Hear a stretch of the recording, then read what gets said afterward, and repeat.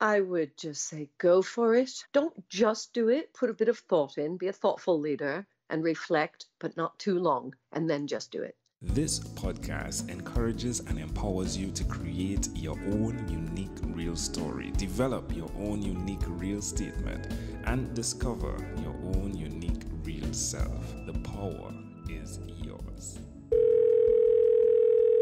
Good morning, good morning, Mindy Gibbins Klein. Previously, episode 176 of the 12 minute convos. The last time we spoke, it was two years, nine months, 18 hours ago.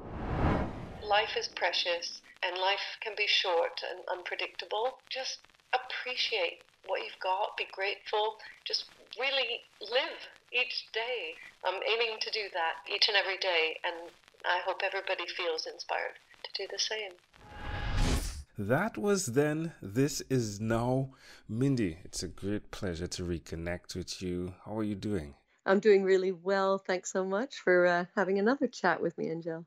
Yeah, it's my pleasure. Now, when we did have our first conversation, the word that came up first was tenacity. Are you still living around that word?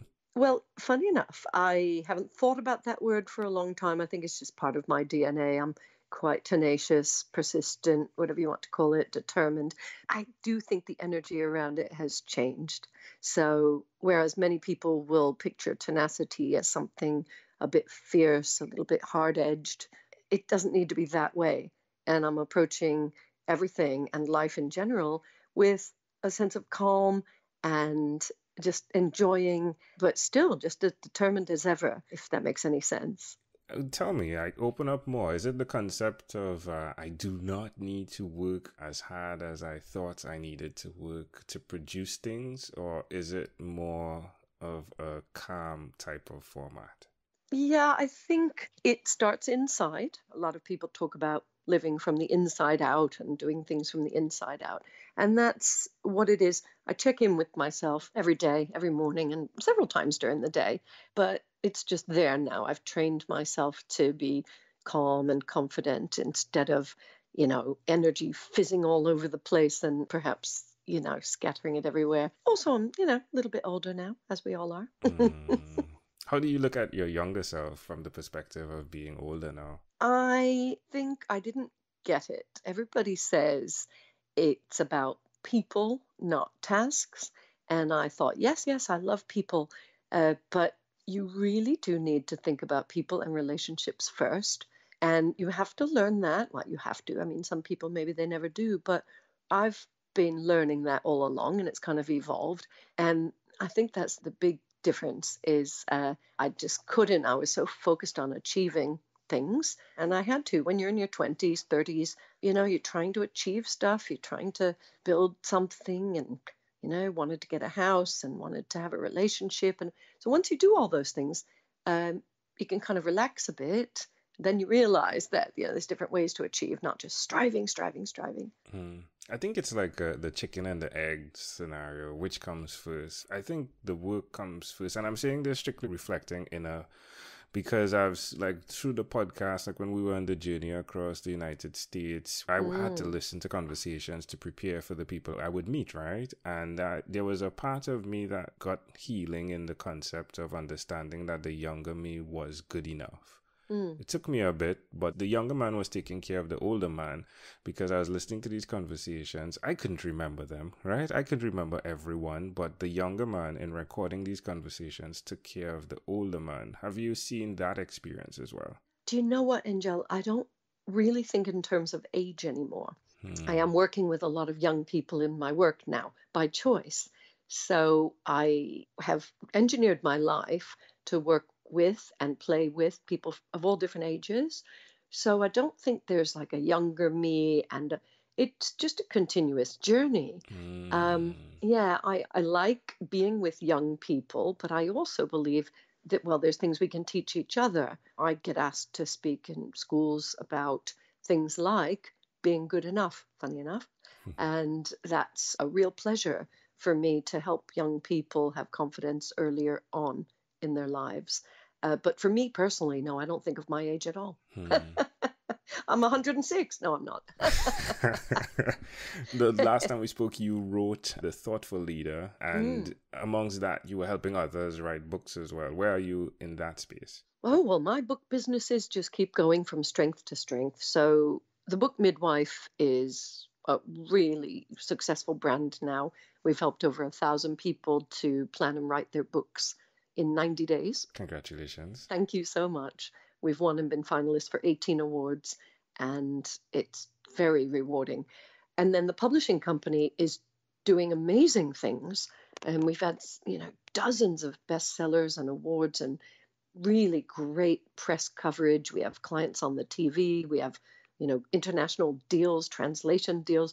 Um, it's all the work, hard work, whatever you want to call it, over 17 years, just always keeping on the same path. So that's mm. great. But the thoughtful leader has allowed me to step into this speaking role and talk about important things. Being thoughtful is probably the key thing that if I could only ever do one thing for the rest of my life, it would be writing and speaking and helping people understand how to be more thoughtful in both senses of the word. And I've just recorded the audiobook version of The Thoughtful Leader. So we're going to have another version to, you know, now that people love audio so much. Now, there's so many other books that you have written. And I don't say it like the others are just the building block, right? It's like great books that you have written. Is there like a one place, a one location we can go to find out more about you? Uh, MindyGK.com. oh, MindyGK.com is my speaker website, and I try to put everything there in one place because we have so many social media platforms and profiles and you know, it's great to have a lot of coverage, but like you say, you never know where to find people and their stuff. So thank yeah. you for asking. Yeah, sure, sure. Having teachers, coaches, and mentors around you is something you ensured you had. Is that something you still invest in? I do. And there are lots of different ways to do it. I have many, many talented colleagues. And so we do mastermind, masterminding of various kinds where you know you have something to offer them they have something to offer you. You get to bounce ideas around with people who are really intelligent. So i do a lot of that as well. I do a lot of giving back and uh, always making sure that i ask myself am i staying open to new ideas? Because you think okay i've achieved this point but you've never got there. You've, you've never got there, you know, if it were a destination. so yeah, that's important. I love the way you said that there, there, uh, there. uh, the two boys that were in the mix. Oh my, how has what you've been doing impacted them? I remember you said one is more on the science side, one on mm-hmm. the art side. How's that going? Yeah, they are living the dream. They're living their lives as we speak. I'm currently in London, and one is in Australia, about as far away as he can be, doing a six month gap year. I guess it's a half year, hmm. uh, traveling around backpacking and learning a lot, and had organized it all himself, paid for it all before he applies to med school. He wanted to get that trip because I think it's kind of hard once you're, you know, if you're med medical school. Oh, mm. and the other is living the dream in the other direction. He's in Utah He's performing for seven months in three productions. So all of his dance and drama training and singing is all coming together, and we'll get to see him later this month. So, yeah, if we want to do a family Skype call or we did a Zoom call the other day, it has to be 8 a.m. in London, nighttime in Australia, and the night before in Utah. it's amazing how those seeds have grown, uh, and it's fascinating as well how you were able to identify within your children where they would be today by who they were then. That's pretty amazing as well. They identified it. We just tried to be as supportive as possible as their parents, and you just never really know how the kids will turn out. And I, I'm really proud that my husband and myself were you know, watching, listening, and supporting all the way along. It was tricky especially with you know the son who wanted to be in the performing arts didn't want to go to university or even do the A levels if you know what they are. Yes. Like really okay, don't you want to have a plan B? And his answer was no. yeah, it's like give it all up. Let's live for the arts alone. Yeah, oh, well. I'm sure that he loves the fact that you've inputted that. It's one of those things you look back in hindsight and say, "Ooh, thank you, mommy and daddy." Oh, no, no, they already do. I mean, it's really great, you know, and I'm grateful to them as well because, you know, of course we had preconceived ideas. You can't help it. You have expectations. And then if you're smart, you recognize you have expectations and try to step back and try not to control, well, anybody, but especially your kids because, you know, it's impossible to control other people anyway. And if you ease off, then they are allowed to spread their wings. Hmm. The concept of life is precious. Life. Mm can be short. Love each day. You ended our conversation with those words a couple of oh, years wow. ago, and it's again fascinating that you delved into developing that concept. You said that you are mindful and you check in mm. uh, at least a couple of times per day. Do you have any regrets when you look back over the time, Mindy? No. Um, I guess just wished I'd done certain things sooner. Um, soon after we spoke, uh, I did my first TEDx talk, and I was so worried about it. And it is a big thing, you know, everybody builds it up, but, you know, there was so much fear around it. And then that has been another turning point. So that's just consolidated things. But, you know, I, I waited and waited and waited, and I guess with other things as well, but that one stands out. I mm. built it up in my mind as this big obstacle, this big challenge. And yes, it's important but I didn't have it in perspective. I think the new me, if there is a new me, you know, it is just trying to keep things in perspective and not waste a lot of time with fear. Hmm. I love that fear, fierceness, or tenacity. So many great words, Mindy. I want to say thank you so much for what you've done by being true to your own unique real self, your own unique real strengths. It's really, really, really a grand opportunity to check in after two years, nine months, and 18 hours, and to hear uh, that you are continuing with what you desire. It's really, really a grand opportunity for my ears, my life, and my family, and those listeners. Amazing audience out there.